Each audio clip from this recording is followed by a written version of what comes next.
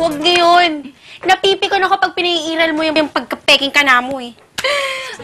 Janelle's career as an actress was just beginning when she met Ramjen Revilla, also a budding actor. Ram is the eldest son of actor-politician Ramon Revilla Sr. and Jenaline Magsaysay. The pair met through a common friend. Feeling ko nga sa kanya nun mayabang kasi medyo may hangin. Revideo daw siya. Parang gano'n. So, parang hindi ko siya masyado pinapansin. Although, nung nag-start na siya nakausapin ako, parang na-realize ko, ay, cute pala to. And then, he asked for my number. So, pagkasakay ko pa lang ng car on the way home, tumawag na siya kagad. From there, every day, like, literally every hour, kausap ko siya. The couple lived in when Janelle was only 17. Ramjen was 18. First year pa lang ng relationship, I was staying with him na. And then, nalaman ng parents ko, syempre parang, umalis ka nga dyan. Parang, baka ano sabihin ng ibang tao na um, hindi ka pinapangaralan ng parents mo, ganyan, ganyan. Parang yung sa akin naman, sobrang feeling ko in love na in love talaga ako that time. Pero sabi ko, sige, uh, against the world na tayo. In contrast, Ramjen's family posed no objections, warmly welcoming Janelle into their home. They were really nice to me po. Hindi ko na-feel na ever na ibang tao ako. Talaga, siya pa yung nagtatry mag-reach out. Yung parang siya pa yung magpapa-feel sa'yo na anak din ang turing ko sa'yo. Ganun siya lagi. So you've been going on for about five years na, no? You had plans of getting married. Naniwala ako nung kumuha siya ng parang application for marriage. Ay nakita namin doon kailangan ng consent ng parents. Sabi ko, hindi pwede ito, hindi mapayag yung mommy ko sa yung daddy ko. So sabi niya, sige, antayin natin mag-21 ka. As if sensing he was running out of time, just two weeks before his gruesome murder, Ramjen pictured for Janelle how their future together would be, even softening on her plan to resume her career in show business. He told me about the plans na kung saan siya magpapatay ng house, what kind of house. Parang ako, okay, ganun lang ako. Sabi ko, okay, sige, oo, anything for you. Tapos, yun nga. Pero uh, sabi niya magiging supportive daw siya if I wanted to go back.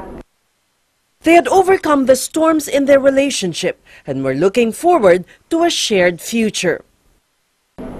It was, ano, uh, a roller coaster ride. So, andun yung medyo immature pa na small things, pagsasalosan and all that.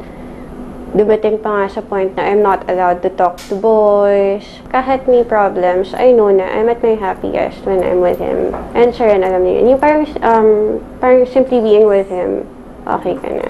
Janelle says Ramjen wanted to be different from his father, who is legendary for having sired many children with different women. he said na ayaw niyang maging ganon yung family. Kasi yung dad naman nila yun yung sinasabi sa kanila lagi na as much as possible, huwag niyo kong gayahan yung madaming anak kasi mahirap. So did he have any insecurities about being in another family? He felt the love of his father and mother. And he knows na favorite siya. Lagi niya sinasabi yun. Like how? Kasi yung dad niya proud sa kanya. Like, every time na nakikita ko yung dad niya, na-introduce siya to other people. And then yung parang proud father. Kasi he sees that Ram is responsible and then may goal sa life. Na yun nga, he wanted to enter politics and then he wanted to enter showbiz pa. Parang, parang, parang yung dad niya. But in the middle of the year, tension erupted in the household.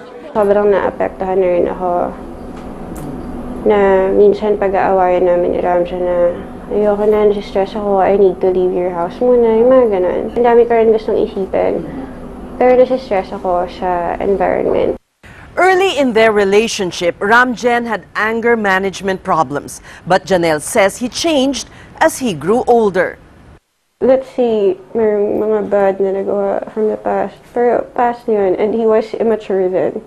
He was trying to change already.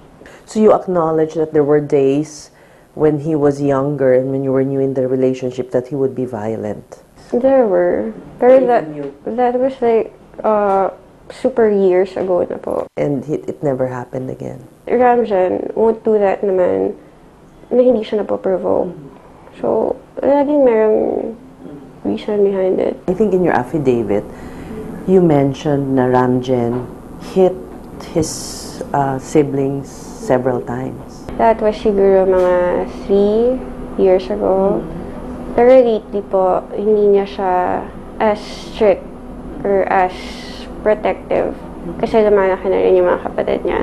Pero yung mga away this year was more on sagutan sa magkakapatid. And then, syempre may issues sa family. Mostly about money, about finances. Yeah. Being the eldest among a brood of nine, the task of being both mother and father fell on Ram's shoulders. His father did not live with them, and according to Janelle's affidavit, his mother Jenlyn was schizophrenic. Janelle says it pained Ram to be the disciplinarian in the family. He is misunderstood siguro. Kasi tough siya sa mga kapatid niya. Pero pag kaming dalawa na lang, he'd always ask me, tama ba yung nagawa ko? Parang mali. Pero kailangan niya gawin. Kasi if not, hindi siya susundan ng mga kapatid niya. Months before Ram's murder, he and his siblings were no longer on speaking terms.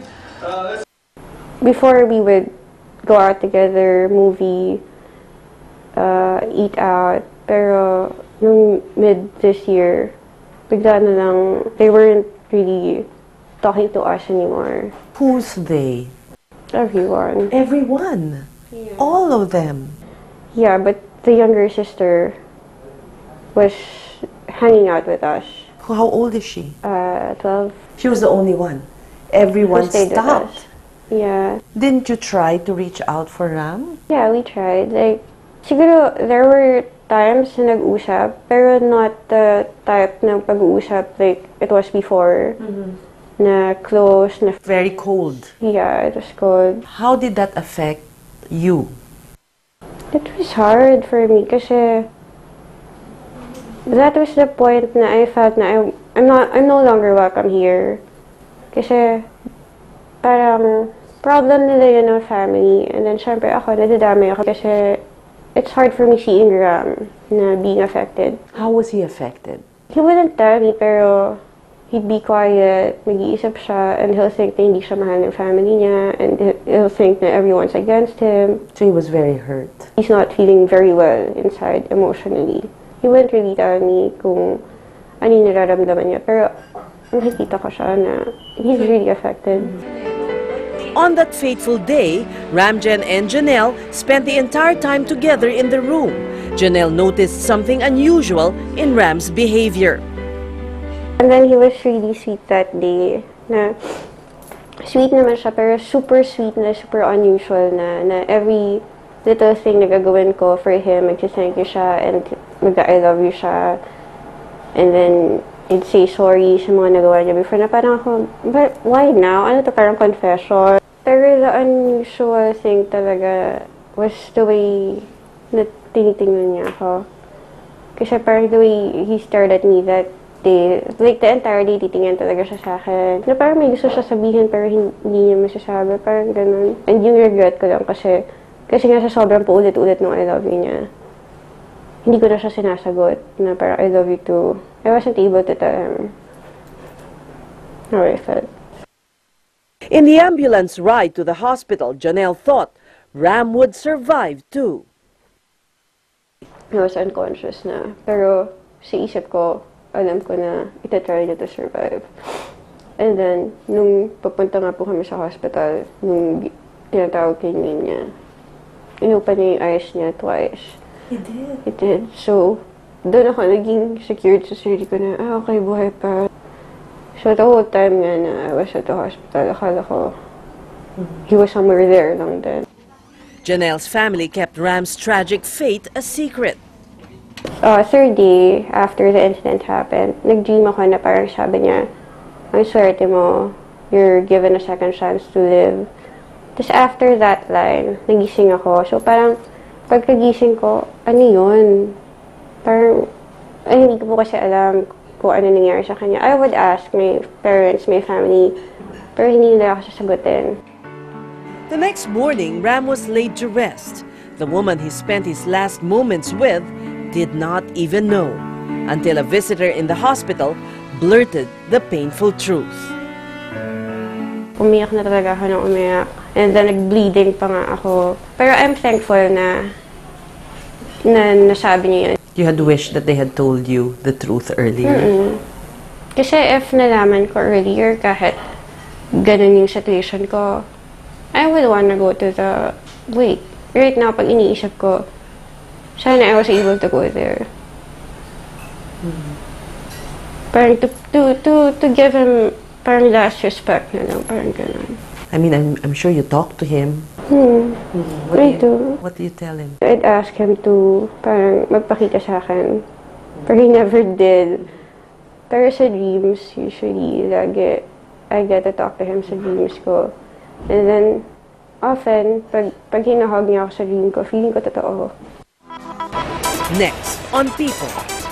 Not everyone is given a chance to have a second life. So, I think one of the reasons why I survived was for me to help solve this case and to give him justice. And